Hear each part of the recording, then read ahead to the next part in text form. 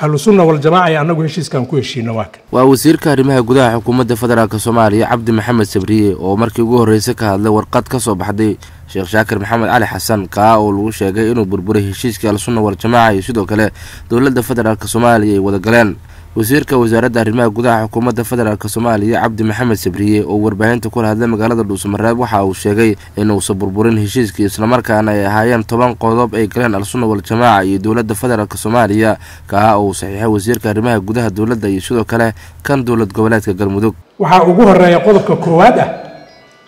si loo helo kalsooni iyo jawi xasiloon oo suurtogeliya qabashada qabashada doorashooyin xor iyo xalaal ah waxaa lagama maarmaan ah in hay'adaha amniga heer federaal iyo heer dowlad goboleed ee galmudug ay si rasmi ah isaga kaashadaan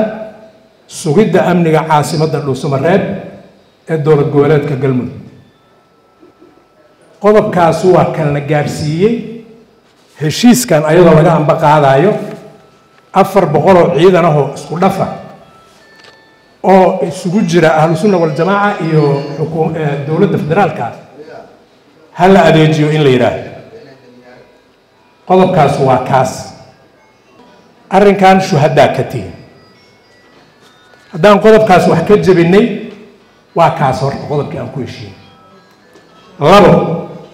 in ciidamada dowlad goboleedka galmudug loo sameeyo hanaan hanaanka diiwaangelinta iyo xaqsiinta sida mushaarka iyo aba agabka kale ciidan. Ciidankii lagu da lagu daray oo lagu dhafay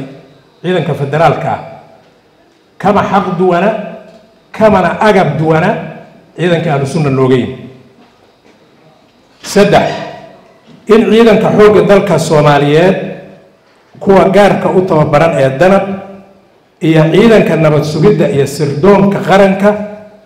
iyo ciidamada la diiwaan geliyey ee galmudug la isku dhafo si ay uga wada howlgalaan degaanka galmudug. Haddaanaan samayn hanalagu hanalagu qabsano. Haddaan samaynana waa samayna hanaloo soco afar qayb qodobkaana waa muhiim. Waxaan rabaa inaad dhegaysataan in qeybta kow iyo labaatanaad ee ciidanka xoogga dalka soomaaliyeed ciidanka sida gaarkaa u tababarana loo yaqaan danab iyo ciidanka nabad sugidda iyo sirdoonka qaranka ay si rasmi ah ugu soo wareegaan xarumaha magaalada dhuusamareeb dhinaca kale mid ka mid a dhallinyarada ku dhaqan magaalada dhuusamareeb ee caasimadda dowlad goboleedka galmudug ayaa bogaadiyey horumarka dowladda federaalk soomaaliya ay ka wado magaalada dhuusamareeb waxaan rabaa inaan u mahad celiyo dowladda federaalka soomaaliya oo aan dareensannahay howlaha shaqe ee halkan ay ka wado iyo dhisitaanka ay u istaagtay in ay dhisto galmudug loo dhan yahay ee midaysan ee midmadowga iyo waxyaalaha jiraanba ka hufan in ay dhisto waqtiga gelisay ayaan rabaa inaan halkan uga mahad celino. Maxamed toban ciilow wararka telefishinka star dhuusamareeb